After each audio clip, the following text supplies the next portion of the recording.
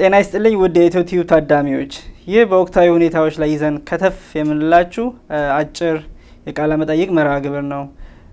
በዛሬው መርሃ ግብር አቶ ኦባንግ ሜቶን ይዘንላችሁ ቀርበናል። በጋምቤላ ክልል በድንበር ተሻጋሪ ወንበዴዎች ስለተገደሉትና ስለታፈኑት ኢትዮጵያውያኖች እና ስለ አካባቢው ፖለቲካዊና ማህበራዊ አሰፋፈር ከአቶ ኦባንግ ጋር የምናወራው ይሆናል። አቶ ኦባንግ አብዛኛዎቻችን እንደምናውቀው በኢትዮጵያ ፖለቲካዊና ማህበራዊ ህይወት በተለይም በዲያስፖራው ማህበረሰብ ከፍተኛና ቀዳሚ ግንባር ቀደም ሚና ከሚጫወቱት ግለሰቦች መካከል ዋና ተጠቃሽ ናቸው። አሁን ቀጥታ ወደ ቃለ መጠይቁ እንሄዳለን። አቶ ኦባንግ እንኳን ደህና መጡ ወደ ኢትዮ እስቲ ስለ አሁን እየሰሩት ስላለው ስራና ስለ ራስዎም አጠር አድርገው በአንድ ደቂቃ ለታዳሚዎቻችን ቢነግሩና በዛ ብንጀምር ጥሩ ይመስለኛል። Thank you ካሴ ስለጋብዙኝ specially ለኢትዮቱቦቹ ታዳሚዎቹን ትልቅ ምስጋና አቀርባለሁ። ለእናንተም ስለ እኔ ማንነትም በቃ የምናገር አዲስ ነገር አይደለም። ብዙ ሰዎች I think ያውቁኛል ማን እንደሆነ። ኦባንግ ይባላለሁ። የሰብአዊ መብት ተሟጋች ነኝ እና ሁሌ የምሰራ almost በሰብአዊ መብት ነው ማለት ብዙ ሰዎች የሚያውቁኝ በዙ ነው እና በሌላ በኩል ደግሞ ስደተኞቹን ከተለያዩ ሀገሮቹን የተሰቃዩ ወገኖቻችን በዙ በዛ ላይ I think ያውቁኛል እና ማለትም የ political party or መሪ አይደለም or ግን የሰብአዊ መብት ተሟጋች ነኝ ማለቴ ነው። እሺ አቶ ኦባንግ አሁን አንድ የጠቀስከው ነገር ስደተኞች የስደተኞች መብት ላይ እንደምትሰራ ነግረናል እና ትላንትና የተፈጠረ ነገር አለ፣ አሳዛኝ ዜና። እሱ ላይ ወደ ኋላ እንመለስበታለን። ከዛ በፊት ከዛ ሁለት ሶስት ቀን ቀድሞ ሁላችንም እንደምናውቀው በጋምቤላ ክልል በድንበር ተሻጋሪ ከሱዳን ድንበሩን በተሻገሩ ወንበዴዎች ከሶስት መቶ በላይ ንጹሀን ኢትዮጵያውያኖች ህይወታቸውን አጥተዋል። እንደዚሁም ህጻናት ታፍነው ተወስደዋል። ብዙ ከብቶች ተዘርፈዋል። ንብረትና ቤቶች ተቃጥለዋል። ይህንን ዜና መቼና እንዴት ሰሙት? Thank you really በእውነት ያው ዜና የሰማሁት almost Friday ሌሊት ነው እና specially ጋምቤላ ያሉ ሰዎች ነው የደወሉኝ እና almost ጠዋት አካባቢ ነው የደወሉኝ እና መጀመሪያ ስንሰማ እንደዚህ አይነት problem እንዳለ አናቅም ነበር እና ሰዎቹ ደውሎ problem አለ። አሁን እንደምታይ ጋምቤላ ኮ እየታወቀ ነው። በጋምቤላ በኩል ብዙ even ባለፈው February አካባቢ ግጭት ነበር በዚህ ላይ ከሁለቱ ብሔረሰቦቹ እና ጋምቤላ ይሄ የግጭቱ ወር ሰዎቹ መሞቱም እንደ ወቅታዊ ነገር ሆኗል። almost በየጊዜ ነው እና ግን ይህ አሁንም እንደዚህ አይነት ልክነቱ እንደዚህ መሆኑ አላቅም ነበር። መጀመሪያ ሰዎች እንደደወሉኝ ሰዎች ሞቱ እና የሆነ ግጭት ነበረ። በማንነት ማን ላይ እንደሆነ መጀመሪያ አልሰማም እና ጠዋቱ ከአንድ ሰዓት በኋላ አንድ ሰው ደወሎ ነገረኝ። አዎ ገዳዮቹ ከደቡብ ሱዳን የመጡ ናቸው ነው ወሬ። እንደዛ ሰማን ማለት ነው almost ወደ Friday ሌሊት አካባቢ ነው እና ግን Saturday ጠዋቱ እንዳለ በሙሉ ዜና ሰምተናል። እንደሰማን ከሆነ ያው በሚዲያ እንደተወጣው በጋምቤላ አካባቢ የምትኖሩ ወደ አምስት የሆነ ብሔረሰቦች አሉ። የጋምቤላ ሕዝብ ማለት ነው። አኝዋክ አለ፣ ኑዋር አለ፣ ኮሙ አለ፣ ኡቦ አለ፣ መዠንግር አለ እና ከሌላ ኢትዮጵያውያን መጡ ማለት ሀገር የመጡ ሰዎች አሉ ማለት ነው። እዛ ጋር ነዋሪዎች ማለት እና ሁሌን almost ከ2013 አሁን ለምሳሌ ሰብአዊ መብት ስራ ከጀመርኩት 2003 አካባቢ ነው። ጋምቤላ ያን ጊዜ ጨፍጨፋ ነበረ። ግን ያው የሞቱ ሰዎቹ ያንን ጊዜ አንድም አኝዋኮቹ አኝዋክ የሚባል ብሔረሰብ ናቸው። ገዳዮቹ ደግሞ በያንን ጊዜ የመንግስት እጅበት ያለበት ነገር ነው። ምንም ጥያቄ የለም እና ከዛ ወዲህም እንደዚህ አይነት ግጭቶች አሉ። ግን በብዛቱ ከሱዳን የመጡ ሰዎች አይደለም እና ያውኑ በጣም ለየት የሆነበት በኦልሞስ አንድና ሁለት ሶስት ነገር ነው። በአንደኛ በኩል ገዳዮቹ ከደቡብ ሱዳን የመጡ ናቸው። እነኚህ ሙርሌ የሚባል ethnic group ናቸው፣ ጎሶች ናቸው። እነኚህ ሙርሌ የሚባል በጭራሽ ኢትዮጵያ ውስጥ የለም። መኖሪያቸው ደቡብ ሱዳን ናቸው። ግን ጋምቤላ ውስጥ ኑወር የሚባል ethnic group አላቸው። አኝዋክ የሚባል አላቸው። አኝዋኮቹና ኑወሮቹ ሱዳን ውስጥ የሚገኙ ብሔረሰብ ናቸው እና አይቴከውን ደቡብ ሱዳን እስከ 2013 ጀምሮ ጦርነት አለ። የደቡብ ሱዳኖች between የመንግስትና ተቋሚዎች ተቋሚዎቹ የተቋሚዎች መሪዎች ኑወር ነው እና ሪያክ ማቻር ይባላል። የደቡብ ሱዳን መንግስት የሚመራው ሰልቫኪር ነው እና እሱ ደግሞ ዴንካ ነው እና ከዛ በኋላ የ problem ከተፈጠረ በኋላ ማት የሱዳን ኑወሮቹ ሀገራቸው ለቅቆ ኢትዮጵያ ውስጥ መጡ።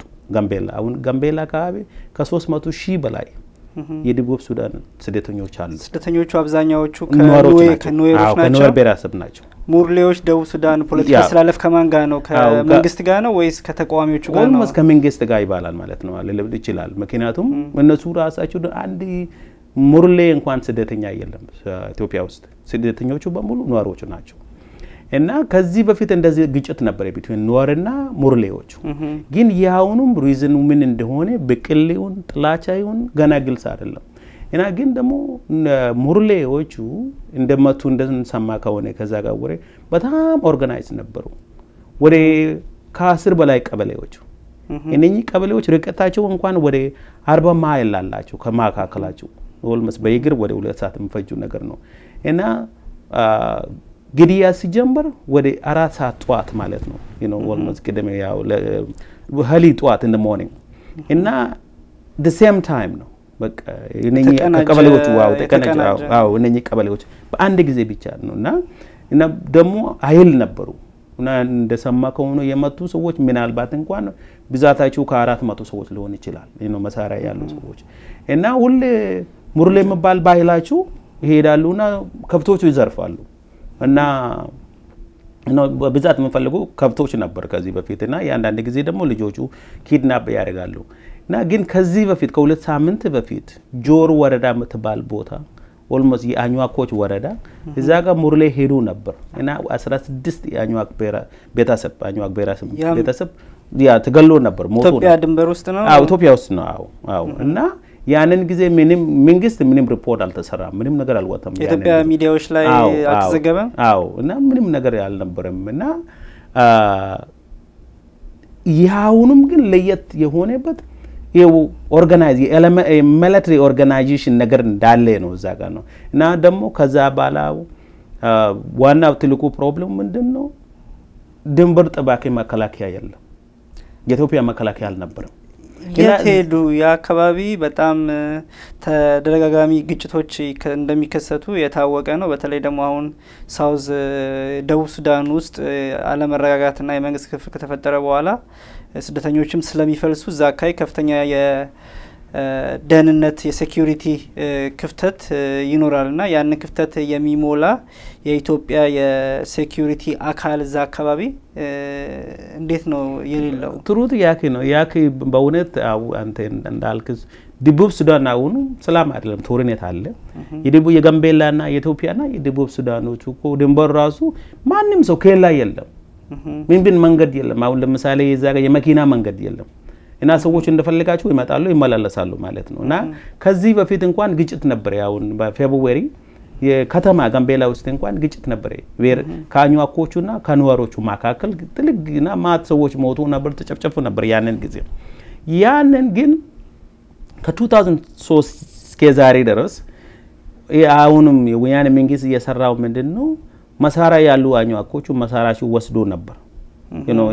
ምንም መሳሪያ የለም። ምክንያቱም መንግስት ፈርቶ ምናልባት እነኚህ ሰዎቹ መሳሪያ ካላቸው በመንግስቱ ላይ ፕሮብለም ሊፈጥሩ ይችላል። እና አኝዋኮቹ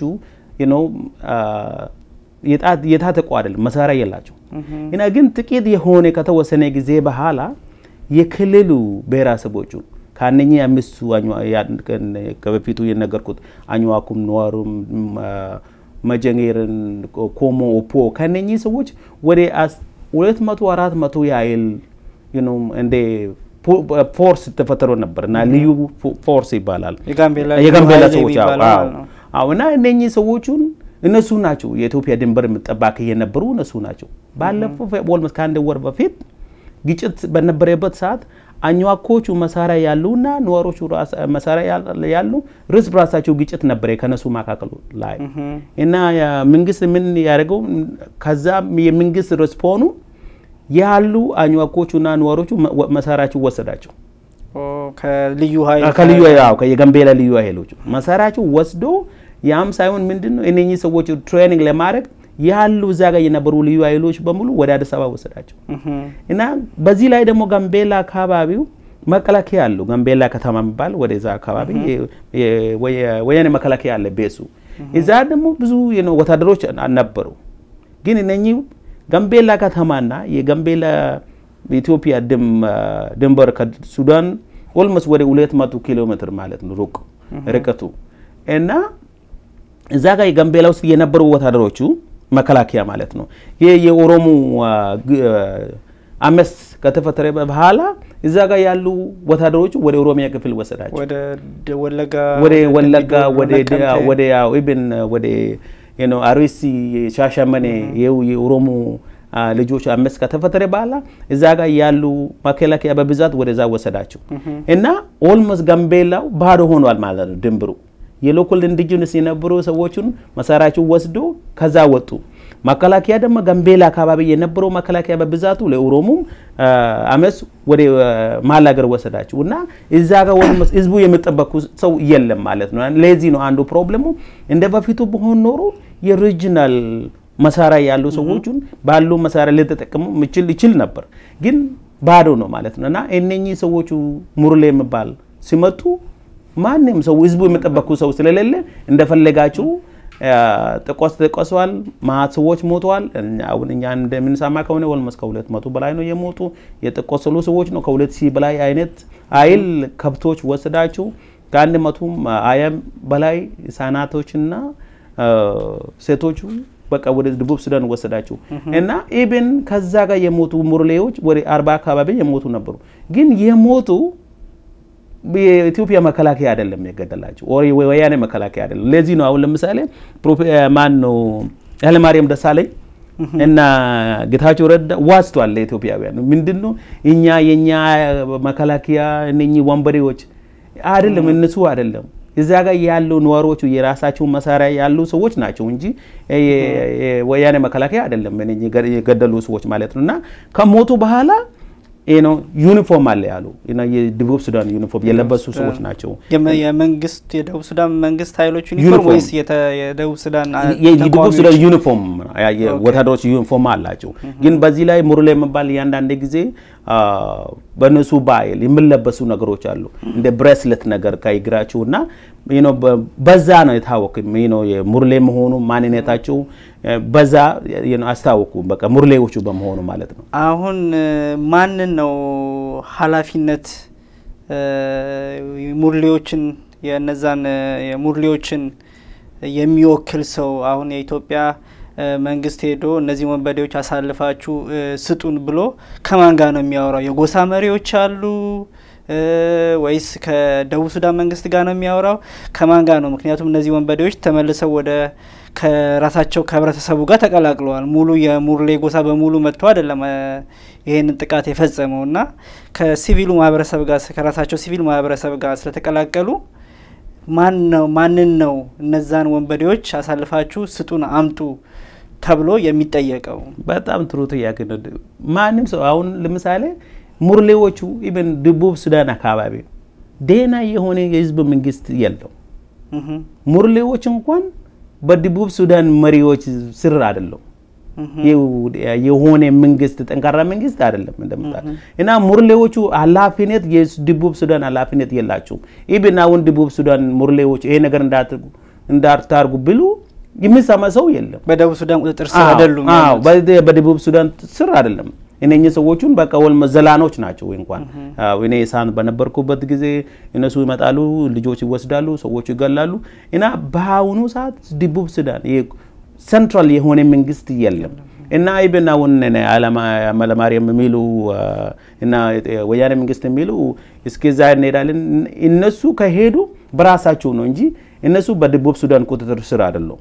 እና ኃላፊነቱም elder አለ፣ ሽማግሌ ያለ ምንም ምንም ነገር የለም። እነኚህ ሰዎች ለብቻቸው ነው። ግን ከዚህ በፊት ሙርሌው የሆነ አቃል ነበረ almost ከአንድ ሁለት ሶስት ዓመት በፊት ማለት ነው። እና ዴቪድ ያው ያው የሚባል ስም ሰምተህ ከሆነ ይሄ ከነኚህ ከሙርሌዎች ናቸው። ሙርሌዎቹና ደቡብ ሱዳኖች አልተስማሙም። የደቡብ ሱዳኖቹ ሙርሌ ምን ይላል? እነሱ መፈለጉ መሬታቸው ዋሉ እኛ መብታችን እንቀበር ስላልተቀበረ እነሱ ተዋግቶ ነበር እና አንድ መሪ ያለ ከነኝ ሙርሌዎች ደግሞ በኢትዮጵያ ውስጥ በሱዳን South Sudan ውስጥ በጣም marginalized ናቸው። በጣም discriminated የሆኑ ሰዎች ናቸው። ብዙ እየተማሩ አይደለም፣ ጥቂት ናቸው የተማሩ እና በህዝብ ብዛት ደግሞ በጣም ጥቂት ናቸው። ኦልሞስት እንኳን አንድ ወሪብን አምስት መቶ እንኳን አይደርሱም። አምስት መቶ ሺህ አይደርሱም። በጣም ጥቂት ናቸው እና ያንን ጊዜ ያ ጦርነት በተፈጠረበት ሰዓት የደቡብ ሱዳን ጦርነት ከመሪያም ማቻርና ሰልቫኪር ያንን ደቡብ ሱዳን ሄደው ሁለት በሁለት አቀታቻ ጦርነት እንዳይፈጠር ስምምነት ተደርሷል። ከማን ነው? ከዴቪድ ያው ያው ዴንካ ማለት ማን ነው? ሙርሌ ማለት ነው። እና ያ ሙርሌም አሁን ከደቡብ ሱዳን መንግስት ግንኙነት አላቸው። ግን አሁንም የመጡ ወንበዴ የሚሉ or መሳሪያ ድንበር ያቋረጡ ሰዎች በእነሱ ስር አይደለም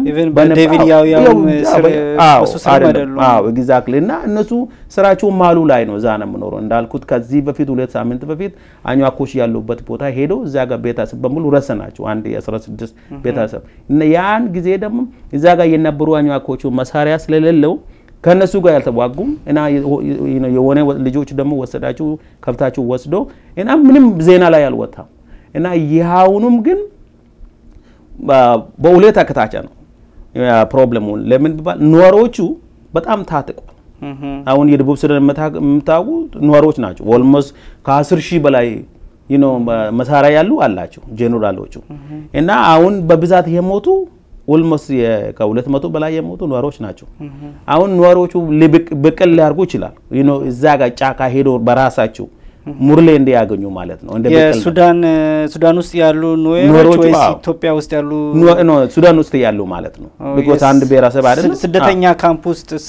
አዎ ስደተኛ ካምፕ ያሉ ላይሄዱ ይችላል። ግን የዛ ጋር ሱዳን ውስጥ ያሉ ደቡብ ሱዳን ውስጥ ያሉ ጄኔራሎቹ መሳሪያ ያሉ እነሱ ምናልባት እዛ ጋር ሄዶ ሊፈልጉ ይችላል። ግን ከዚህ በፊት እኮ ግጭት ነበረ between ሙርሌ እና ኑዌር ማለት ነው። ይሄ ግን እኛ አሁን እኔ ራሴ ግራ የገባኝ ምንድን ነው ብን ለመመርመር የፈለግንን ከነኚህ ሰዎች በስተጀርባ የሆነ ኃይል አለ ወይ? ያ ኃይሉ ከማን ነው? ከደቡብ ሱዳን መንግስት ነው ምንድን ነው ማለት? ደቡብ ሱዳን ማለት የደንቃ ነው። የደንቃ እጅ ያለበት ወይ? ይሄ ነገር አናውቅም እና ይሄ ራሱ መመርመር አለበት። የኢትዮጵያ መንግስት ግን ባልተለመደ መልኩ ወዲያውኑ ቶሎ ነው መግለጫ ያወጣው የዚህን ጊዜ። እና በመግለጫው ላይ ሁለት ነገር ያለው ነገር ቢኖር ምንድን ነው አንደኛ ይህ በኢትዮጵያ ተቃዋሚ ፓርቲዎች እንዳልተፈጸመ፣ ሁለተኛ ከደቡብ ሱዳን መንግስት ጋር ምንም አይነት ግንኙነት እንደሌለው። ወዲያውኑ ነው። ምንም ለማጣራት ጊዜ ሳይፈጁ ነው መንግስት ይህን መግለጫ ያወጣው። እና ለምንድን ነው ከዚህ በፊት ቀደም ብለው የሚያውቁት ነገር አለ ሳይመረመር ነው ሰዎችን ነጻ ያወጡት ማለት ነው። I think በሁለት በኩል ነው በሁለት ነገር ነው የማየው። አንዱ ያው እንደምታይ ይኸው ግጭቱ ከውጭ ነው በቃ ከውስጡ ሳይሆን ከውጭ እየመታው ነው እና ያደግ ይሄ ያደጉበት ምክንያት ምንድን ነው? እኛ ስለ ህዝባችን እንቆማለን፣ እንዴት ሀገራችንን ህዝባችንን እንደዚህ በቃ ይገሏሉ። እና ግን ሁልን ማት ኢትዮጵያውያን በአሁኑ ሰዓት የሞቱ በኢትዮጵያ ምድር ውስጥ የሞቱ በጤትም በምኑም በሌላ ጠላትም ጤቱም ሳይሆን በራሳቸው መንግስት ወታደሮች ነው የሞቱ። ይሄ ግን በጣም ግልጽ መሆን አለበት። አሁን ለምሳሌ የሞቱ ወንድሞቻችንን በጣም እናዝናለን። really ወታችሁ እግዚአብሔር ባርካችሁ። እነሱ ግን በብዛት እስከ ዛሬ ድረስ በሺ የሚቆጠሩ ህዝብ የሞቱ ኢትዮጵያውያን አሉ። even ከ November እስከ አሁንም almost ከስምንት መቶ በላይ የኦሮሞ ወንድሞቻችን እህቶቻችን የሞቱ አሉ እና እነኚህ የሞቱ ከሌላ ሀገር የመጡ ቀርቶ የራሳቸው መንግስት ወታደሮች ነው የገደላቸው እና መንግስት ምንም ነገር አልተናገረም። ለአሁኑ ወደ አሁኑ በፍጥነት እንደዚህ የተነጋገሩበት ምክንያት ምንድን ነው? ይኸው ጠላቱ ከውጭ ስለሆኑ ነው እና እኛ ከሀገራችን ከህዝባችን እንቆማለን ሜሉ አንዱ ነው። በዚህ ደግሞ ትክክል እነሱ ያሉ መጀመሪያ በሙሉ ትክክል አይደለም እንዳሉ ምንድን ነው የሞቱ አንድ መቶ አራት አንድ መቶ ሀምሳ አርባ ይላሉ በመጀመሪያው ግን እድማቸው ነው ነንበራቸው የባሰ almost ከሁለት መቶ በላይ ደርሷል። እና ደግሞ ምን የሚሉ የመጡ ወንበዴዎች ናቸው የደቡብ ሱዳኖች ወንበዴዎች ይላሉ። ግን መከላከያ ነው የሞቱ ሰዎች የገደሉ መከላከያ ነው። እዛ ጋር ምንም መከላከያ የለም። መከላከያ ብኖር ኖሮ even የኢትዮጵያ የወያኔ ባለስልጣኖቹ ሰዎቹ የሞቱበት ቦታ በሄዱበት ሰዓት almost ከስድስት ሰዓት በኋላ ነው ህዝቡ ከሞተበት ከስድስት ሰዓት በኋላ ነው የ almost የሀገር መንግስት ብዛ የገቡበት ሰዓት ማለት ነው። ይሄ እንግዲህ ክፍተት ቅድም እንዳልከው የተፈጠረው አንደኛ የኑዌርና የአኝዋክ ዋና ትልልቅ የጋምቤላ አብዛኛው ህዝቦች መንግስት ትጥቅ ማስፈታቱ፣ ሁለተኛ የክልሉን ልዩ ኃይል ወደ አዲስ አበባ ለስልጠና ብለው ማምጣቱና ሶስተኛ ደግሞ እዛ አካባቢ ከዚህ በፊት የነበረው የመከላከያ ሰራዊት በኦሮሚያ ክልል ውስጥ የተፈጠረውን አለመረጋጋት ለማብረድ ከዛ አካባቢ በመንቀሉ በእነዚህ ሶስት ምክንያቶች ናቸው ክፍተት የፈጠሩትና ይህን ክፍተት ተጠቅመው ነው ሙርሌዎች ገብተው በተቀናጀ ሁኔታ ይህን ጥፋት ያደረሱት ማለት ነው። ትክክል። ያ ሰመራይዝ ያደርገዋል በደንብ በደንብ ያስቀመጣል። በቃ እንዳለ ትክክሉ እሱ ነው። በቃ እና አሁንም መንግስቱ የሚሉ እንደዚህ እናደርጋለን እርምጃ ወስደዋለን የሚሉ ነገር በእውነት እኔ አላምንም። አለ ለምሳሌ ኃይለማርያም ምን ይላል? ተፈቀደናል። የደቡብ ሱዳን ምን ይላል? እኛ እስከ ደቡብ ሱዳን እንኳን አቋርተን መግባት እንችላለን ይላል። እና ሙርሌዎች ደግሞ የራሳቸው ምንድን ነው ቀበሌ or ከተማ የሚባል ነገር የለም። ጫካ ነው የምኖሩ እና እንዴት ነው እነኚህ ሰዎቹ እዛ ጋር ሄዶ የሚያገኙ እና በዚህ ላይ ደግሞ ወደዛ ጋር ስትሄዱ አሁን ለምሳሌ መከላከያ ወደዛ ብልቁ ማን ነው እንዴት ይለያሉ? ሙርሌዎቹ ገዳዮቹና ገዳይ ማንና ገዳይ ያልሆኑ ማን ናቸው? ሁሉም ሙርሌ ነው አይደለም። አሁን ለምሳሌ በእኔ በኩል በጎሳምና ገዳዮቹ ወንጀለኞችና ወንጀሎች መሆኑ መለየት አለበት። ኢብን የሙርሌ ዝም ብሎ ሙርሌ በመሆኑ ራሱ መገደል ክፉ ነው፣ ጥሩ አይደለም። እና እንዴት መለየት ይችላሉ? አሁን እዛ ጋር ራሱ ቢሄዱ ሙርሌ በዚህ በኩል ደግሞ በደቡብ ሱዳን መንግስት ቁጥጥር ስር አይደሉም። እና እዛ ጋር እንሄዳለን ወንድሞቻችን ዘመዶቻችን የገደሉ ሰዎቹን የሆነ አይል እንወስዳለን or የእርምጃ ይሄ እርምጃ እንዴት እንደሆኑ even ግልጽ አይደለም ማለት ነው። እና አሁን ሙርሌዎቹ ከብቶቹ፣ ህጻናቶቹ፣ ልጆቹ በሙሉ ወስዷል። እና ይሄ ነገር ግን እንዴት ነው በቃ በትክክለኛ መንገድ ይሄ problem ኡ solve እንዴት እንደምደርግ I think መንግስት ራሱ ዝግጁ አይደለም ብዬ አመናለሁ። ሁሌ ከዚህ በፊት እንደዚህ problem አሉ እንዳልኩት እና even ከሁለት ሶስት ዓመታት በፊት ሙርሌዎችና አኝዋኮቹ problem እንደዚህ ነበረ። እና ሽማግሌዎቹ በስምምነት በቃ traditional dialogue አለ። እና አሁንም ይሄ ነገር የለም። ኢትዮጵያ ውስጥ አሁን ጋምቤላ ውስጥ እያሉ even ባለፈው 24 ዓመት ጋምቤላ ውስጥ እያለው የወያኔ መንግስት ስራ የሰራው አኝዋኮቹና ነዋሪዎቹ እንዲከፋፈል ነው። አኝዋኮቹና ማጀንጌር እንዲከፋፈሉ አኝዋኮቹና ከመሀል ሀገር የመጡ ሰዎች እንዲከፋፈሉ እና የወያኔ ስራ ህዝቡ በመከፋፈል አሁን ለምሳሌ ጋምቤላ ያለ አይቴ ከሆነ እነኚህ ሰዎች ስልጣን ከተያዙ ድረስ እስከ ዛሬ ድረስ ምንም ሰላም የሚባል ነገር የለም። በአንድ ወቅት አኝዋኮቹና ማጀንጌሮቹ ፕሮብለም በአንድ ወቅት አኝዋኮቹና ነዋሪዎቹ በአንድ ወቅት አኝዋኮቹና ከመሀል ሀገር የመጡ ሰዎች በአንድ ወቅት እና ነዋሪና ነዋሪ ራሳቸው እንኳን እና ይሄ problem ማን ነው ፈጣሪ ማን ነው? መንግስት ነው። ህዝቡ በመከፋፈል ነው። አሁን ጋምቤላ ውስጥ የተፈጠረ እኮ እንደ አዲስ ነገር መወሰድ የለበትም። አንድ ነገር የሚጨመር ነገር ምንድን ነው? ሰምቴ ከሆነ በቦረና አካባቢ እዛ ጋር ኬንያ border ያሉ እንደዚህ ግጭቶች አሉ እና በአፋር አካባቢ እንደዚህ ግጭቶች አሉ። በሶማሊያን ክልል አካባቢ ቤነሸንጉል ቤነሸንጉልና ከሱዳን እንደዚህ ግጭት አላቸው። ድንበር ድንበር ያሉ ማለት ነው እና even ወደ ጎንደር አካባቢ። እዛ ጋር ጎንደር አካባቢ የሱዳን ድንበር ያሉ ከኢትዮጵያውያን ከዚህ በፊት I don't know አስታውሳለሁ። የደቡብ ሱዳኖቹ ሰላዮቹ ከመሳሪያቸው መጡ። የኢትዮጵያን citizen ኦቹ ሞቶ ነበር ገበሬዎቹ ማለት ነው። እና ምን ልል ነው? እዛ ጋር ያለው የሀገር መከላከያ ሲኖር ህዝቡ መጠበቅ ነበረበት። ያሁኑ የሀገራችን ያለም መከላከያው ራሳችሁ ስልጣናችሁ ለመጠበቅ ነው እንጂ ህዝቡ ለመጠበቅ አይደለም። እና የ pro- የጋምቤላ problem የጋምቤላ ብቻ መሆን እንደዛ መወሰድ የለበት። በየድንበሩ በ border ኡ ይሄ problem እየተፈጠረ ነው እና ምንድን ነው ምን ማድረግ አለበት? አሁን ለምሳሌ እኔ የማስበው በሁለት በኩል ነው። አንዱ የደቡብ ሱዳን መንግስት እንደሌለ እናውቃለን። በ international community የሌላ ሰው አገር በ international ሕግም አቋርቶ ወደ ሌላ አገር መሄድ የለበትም። ይኸው against international ነው። በሌላ በኩል እዛ ጋር ያለው መከላከያው ከሌለ የኢትዮጵያ national citizen የሚጠበቁ መከላከያ ከሌለ መሳሪያ ለምን አይሰጡም ለገበሬዎቹ?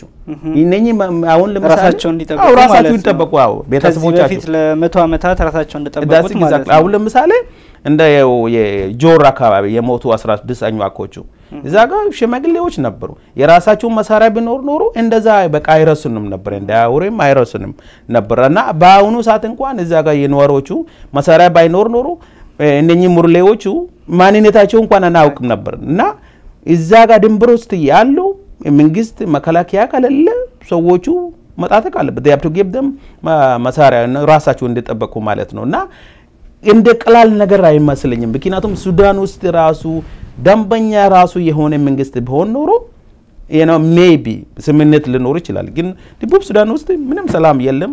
ጦርነት ነው በቃ በጦርነት ላይ ናቸው። even አሁን ከማሻርና ሪያክ ማቻርና ሳልቫ ኪር ያለው ግንኙነት ራሱ ደሴም አይደለም።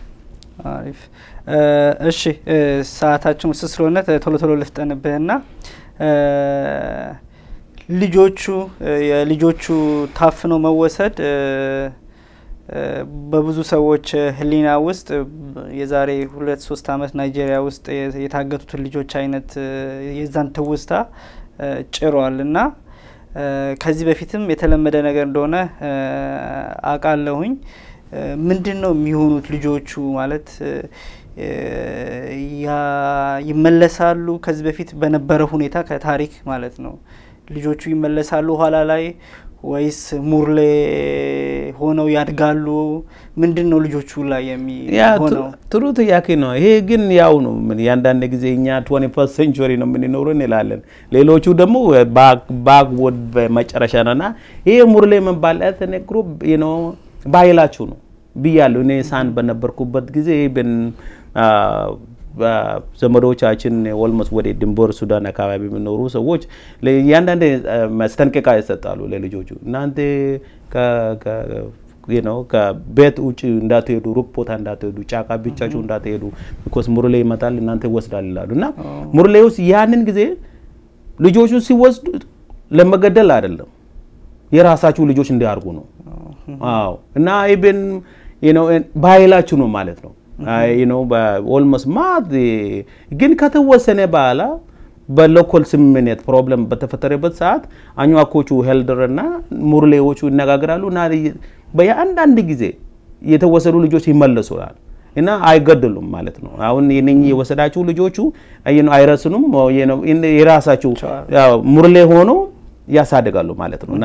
ወል ሬዝ ሙርሌ ባህላችሁ ነው በቃ እዛ ጋር ያሉ ደቡብ ሱዳን እና አሁንም ግን ኢትዮጵያ ውስጥ የሆነ ስለሆነ ግን በውጤንደ ሱዳን ውስጥ ራሱ ነው ሙርሌ እንደ ይሄ ነገር በታሪካችሁ የታወቁ ነው። ይሄዳሉ፣ ልጆቹ ይወስዳሉ፣ የራሳቸው ልጆቹ ሆኑ ያሳድጋሉ ማለት ነው እና አሁንም ይሄ ነገር ግን በትክክለኛ መንገድ እንዳልኩት ልጆቹ ሴቶቹ ለመመለስ በ reconciliation መሆን አለበት። የእነሱ ባህል ቋንቋ እነሱ በመገባቸው ቋንቋ ማለት ነው። እሱን አሁን የተጀመረ process ከመንግስት ከኢትዮጵያ መንግስት ማዕቀፍ ውጭ በሰሜን አሜሪካም እዛው ሱዳን ውስጥም አውሮፓ ውስጥም ባሉ የሙርሌም ጎሳዎች የኑዌር ጎሳ አባላት መካከል at least ህጻናቱን ለማስመለስ ወደ ቤተሰቦቻቸው እንደዛ አይነት ጥረት ሊኖር ይችላል። እንደዛ አይነት ያው ለዚህ ነው እንዳልኩት እያንዳንድ እኛ ታሪክም በእውነት ሙርሌዎች ቅድም ብያለሁ ጥቂት ናቸው በህዝብ ብዛት ደግሞ ያልተማሩ ናቸው። I think እንደማወቅ እንደሰማ ከሆነ ሙርሌዎቹ ከውጭ ሀገር ያሉ ውጭ ሀገር የገቡ ነው በህዝብ ብዛት ከሆነ maybe ከሶስት በላይ አይገባም። እና እና I think ካናዳ ውስጥ ነው የምኖሩ እነኚህ ሶስቱ እና ከዛ ጋር ያለው ግንኙነት የላቸው ሙርሌዎቹ ማለት ነው። እና ነዋሪዎቹ አሉ ብዙ አላቸው። አሁን ለምሳሌ ነብራስካ፣ ሊንከን ነብራስካ፣ ሚኒሶታም፣ ካልጋሪም፣ ቶሮንቶ ብዙ ኑዌሮች አሉ። ብዛት ስላላቸው ደግሞ በዚህ opportunity ያገኙት የተማሩ ነው comparing ከሙርሌዎቹ እና ይሄ discussion or dialogue reconciliation ለመፈጠር ከዳያስፖራ ሳይሆን አገር ቤት ያሉ ማለት ነው አገሩ ሳይሆን ደቡብ ሱዳን ውስጥ ማለት ነው። እና አሁን ግን ኑዌሮቹ በመሳሪያ respond ካደረጉ በቃ ይኸው ውጤታማ ነገር አወጣም ብዬ ነው የማምነው። አዋጣም አሁን ለምሳሌ even ወያኔ ፖርሾ መከላከያ ቢላኩ war ሄሊኮፕተር ቢላኩ እዛ ጋር ቢላኩ የወሰዱ ልጆች አያገኙም። ምክንያቱም ሙርሌ ደግሞ በጦርነት respond ያደርጋሉ። by the way ሙርሌዎች በጣም ታጥቋል። መሳሪያ አላቸው፣ ተዘጋጅተው ነው እነኚህ ደግሞ ኖራቸው የምኖሩ በኃይላቸው በመወጋት ነው፣ በቃ በመሞት ነው፣ በቃ እና አይፈሩም። ደፍረው ነው በቃ እነኚህ ሰዎቹ እና አሁን መከላከያ ቢገቡ ምናልባት እንኳን ብዙ ለየት የሆነ ጉዳት ይፈጥራል በመከላከያው ላይ ማለት ነው እና ግን ኑዌሮቹ እዛ ጋር ያሉ የጋምቤላ ውስጥ ያሉ ኑዌሮቹ ብቻ ሳይሆን even ሱዳን ውስጥ ያሉ እንደዚህ ግንኙነት ቢጀመሩ or ዴቪድ ያው ያው ማለት ጁባ ያሉ አሁን maybe በሱ በኩል የራሱ ሰዎች ሊያገኙ ይችላል። ይሄ problem ለወጥ እንዲ ነው እንዲለወጥ በ peaceful ማለት ነው። ምክንያቱም እኔም ይሄ በጦርነት በጉልበት የሚሆን ከሆነ ብዙ ሙርሌ ያልቃል እና ምንም ትግሩም የለም እና ብዙ ኑዌሮች ያልቃል እና በ reconciliation እንደ traditional ነገር ባርጎ ውጤታማ ነገር ያገኛል ብዬ ያመናል። እሺ አሁንም ከፍተኛ የሰዓት እጥረት ስላለ ልዝለልና የተወሰኑ ጥያቄዎችን ከትላንት ወዲያ እንደሰማ ነው የስደተኞችን የጫነች መርከብ ጀልባ ራዘር ሰጥማ ብዙ ኢትዮጵያኖች ኢትዮጵያን፣ ሶማሊያንና ኤርትራውያን ስደተኞች ሞተዋል። አሁን ያንተ ድርጅት የስደተኞች መብት ላይ እንደሚሰራ ቃለውኝ እና ከዚህ ጋር በተያያዘ ይህን ነገር በዘላቂነት ለመፍታት ምንድን ነው የሚታየ መፍትሄ? ማለት ይሄ ነገር በየወሩ በየሁለት ወሩ የሚከሰት ነው ስለለመድ ነው አሁን ምንም ሁሉ የማይመስልን ደረጃ ደርሷል እና ምንድን ነው መፍትሄው? ሰው እንደዚህ እያለቀ ነው የሆነ የሂሳብ መልስ ሳይሆን ምንድን ነው ያንተ አስተሳሰብ? ያ የኔ አስተሳሰብ እኮ በቃ ለቅሶ መኖር እኮ በቃ አዘኑም የኛ ባህል ሆኗል። ለመድ ነው አይደለም? አዎ ለመድ ነው። almost በየቀኑ ነው። በቃ ራሳችን እንጠየቅ፣ መቼ ነው አንድ ሳምንት ያለፍ እያለ ምንም ያዘን ነገር ሳንሰማ? አሁን አይተህ ከሆነ list አለ፣ ብዙ list አለ። አይተን ከሆነም የኦሮሞ ወንድሞቻችን በ social media እያየን ነው የሚሞቱ ህጻናቶቹ፣ ወጣቶቹን፣ አሮጊቶቹ፣ ሽማግሌዎቹን even እርጉዝ እናቶቹ። እና ያው ማለት በእኛ ምድር ውስጥ ነው ማለት ነው። በ I think በኢትዮጵያ ታሪክ እንደዚህ የሆነ ውርደት system ወቅቱ ገብተን አቅም even አያቶቻችን እንኳን እንደዚህ። ይሄ ነገር ለምን ማለት? I think አገር ቤት እንኳን ኖሮ ያለመቻሉን አሁን ለምሳሌ በሜክሲኮ አካባቢ problem አለ። ማልታ አካባቢ እና በአረብ ሀገር አሁን ኢትዮጵያኖችን ያሳተፈ አዎ፣ ባለፈው አይተህ ከሆነ የኢትዮጵያን ሶማሌዎቹ በጣም የሚያሳዝኑ አንድ ቤተሰብ እናትን even ህፃን ልጅ ራሱ ሆዳቸው ተከፍቶ ያሉ ኦርጋኖች ለ donation አይተህ ከሆነ ቪዲዮ የሚሸጥ አዎ የሚሸጥ እና በጣም የሚያሳዝን ነው። አረብ ሀገር እንደዚህ ያንን ራሱ የሰው ልጅ እንኳን ህሊና ያለ ሰው ያው ፎቶ እኔ ሲያይ በጣም ነው really የተሰማኝ እና almost በየቀኑ አዘን ነው እኛ የምንሰማ። ይሄ ግን እስከ መቼ ነው ግን ስንጠየቅ ለምን ተፈጠረ? አሁን ለምሳሌ እኛ እኮ እኛ ብቻ አይደለን ድሃ ነው። ኡጋንዳ ድሃ ነው እንደኛ። ነዳጅ የለም፣ ምንም የለም። ታንዛኒያ ከታንዛኒያ በላይ እኛ ሀብት ያለን እና ምን ልልል ፈልጌ ነው ኢትዮጵያ ውስጥ ያለ መንግስት ኢትዮጵያ ራሱ እንደ ሀገር ሰዎቹ መኖር አይፈልጉም። ለምን ቢባል እዛ ጋር ያለ መንግስት repression on ህዝቡ ራሱ አሁን ምን መሰለኝ ሰዎቹ አሁን ባለፈው ከትላንት ወዲያ ዓለም ባንክ ስብሰባ ነበረና ስለ ስደተኞቹ ሲነጋገሩ ነበር እና የጠቀስኩ ለእነሱ ምንድን ነው ምንጩ problem ኡ መንግስት ነው እንጂ ስደተኞቹ አይደለም። አሁን ለምሳሌ ኢትዮጵያ አሁን ዛሬ የሞቱ ትላንት የሞቱ ወገኖቻችን ከኦሮሞ በአመፅ የሄዱ ልጆች ናቸው። all of them even social media active የሆኑ ናቸው። እነኚህ ደግሞ የኢትዮጵያ brain ማለት ነው የኛ የነገ መሪ ሊሆኑ የሚሆኑ ልጆች ናቸው። አሁን በቃ ሞት ሸሽቶ መንገድ ላይ ሞቱ። የመንግስት መንግስት የሚያቀርባቸው ህገወጥ ፍልሰተኞች፣ ህገወጥ ስደተኞች እያለ just መሰደድን enjoy የሚያደርጉ ለ fun የሚሄዱ በህገወጥ መንገድ እንደዛ ተደርገው ነው በመንግስት ሚዲያ የሚቀርበው። ግን አሁን የሞቱትንም እንዳየነው በዚህ ከኦሮሚያ በተነሳው አመፅ እና ግርግር ጋር በተያያዘ ወደ ግብጽ የተሰደዱ ሰዎች ናቸው። ስለዚህ የኢትዮጵያ መንግስት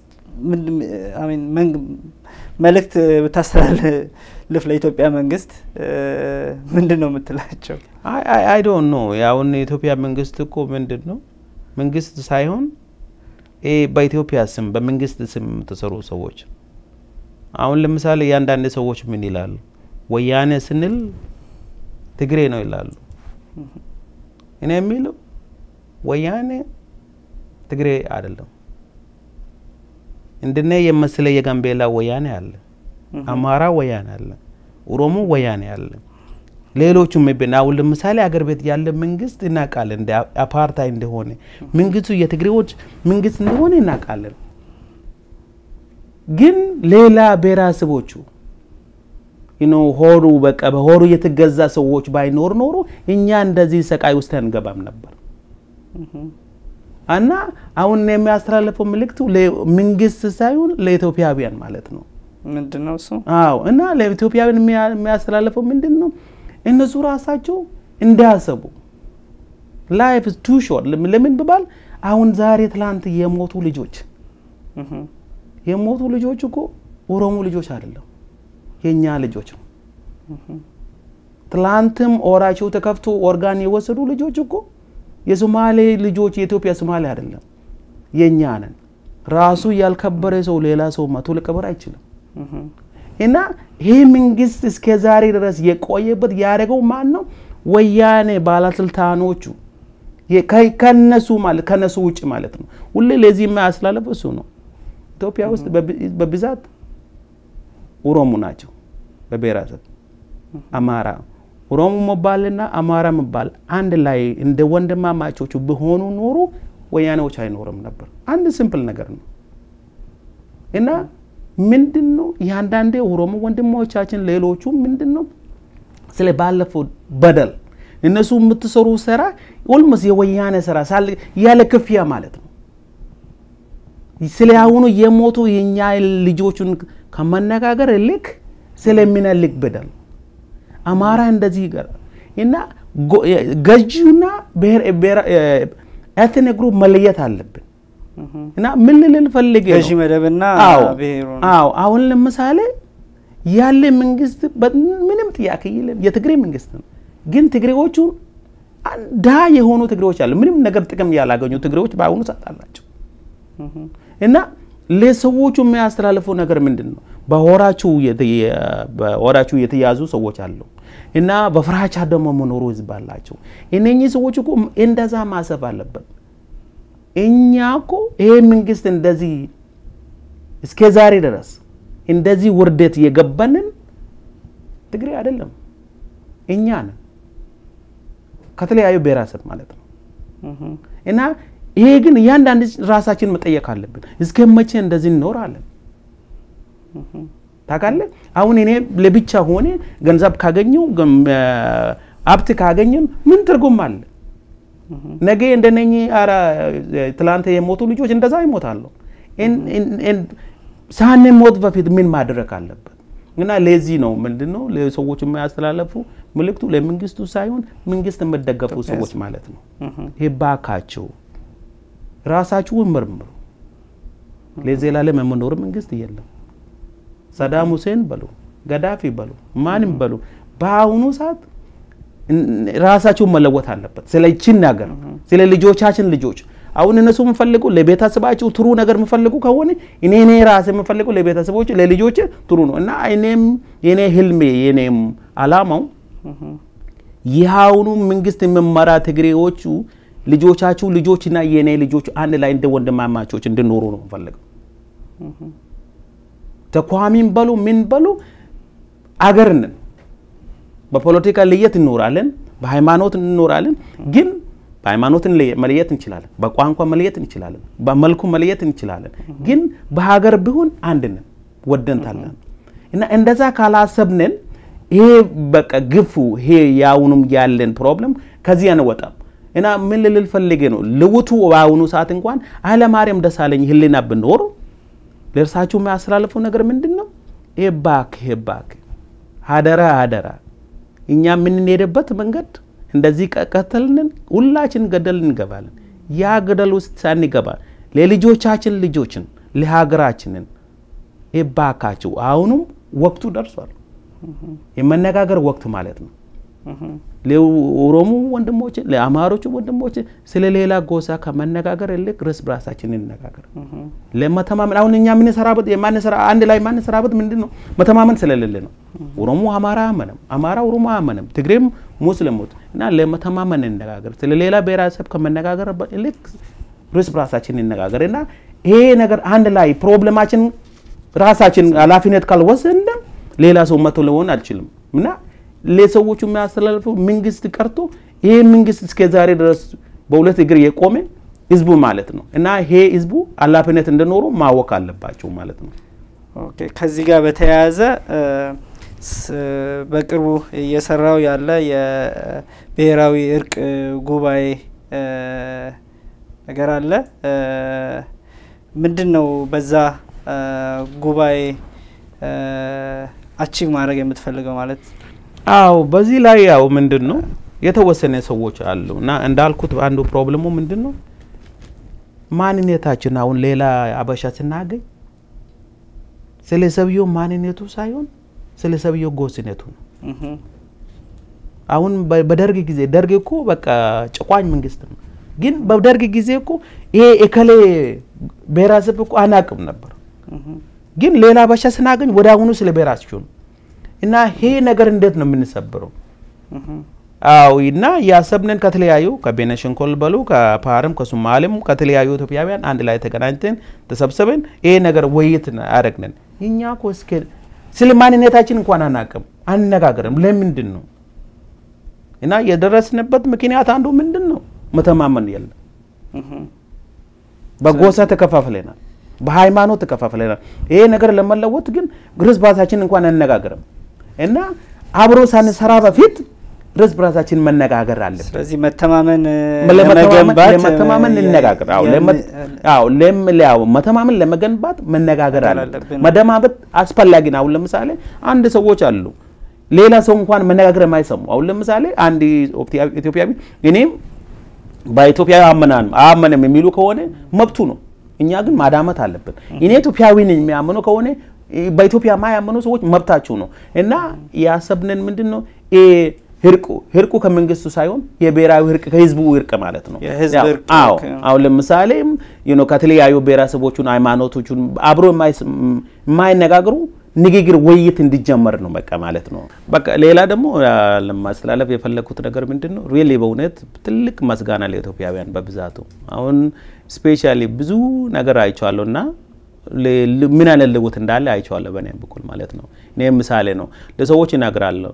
በ2013 አኝዋኮች ሲጨፋጭፍ ወደ ዋይት ሀውስ አካባቢ ሰላማዊ ሰልፍ ሲደረግ የነበሩ የጋምቤላ ሰዎች ስድስት ከማል ሀገር የመጡ ጥቂት ናቸው፣ ወልሞስ ሁለት ናቸው።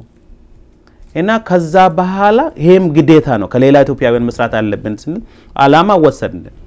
በአሁኑ ሰዓት አሁን ይሄ ወንድሞቻችን የጋምቤላ በቅርብ ጊዜ የሞቱ ፌስቡክ በሙሉ በቃ ህዝቡ በሙሉ አዘኑ። እንደዚህ አይነት እንኳን አይቼ አላቅም ባይወት እና ከዚህ በፊት ሆሞ ሸለቆ አካባቢ ወንድሞቻችን የታስሩ አራት ሰዎቹ ፎቶቸው በየቦታው እና ይሄ ምን ልልል ፈልጌ ነው የአገር አንድነት ማለት የአገር ፍቅር ማለት ይሄ ነው። እና እናንተ በሙሉ ይሄ ነገር የሰማችሁ አዘናችሁ ያሳለፋችሁ እና በፌስቡክ በምን በሉ ትልቅ መስጋና ለእናንተ እሰጣለሁ።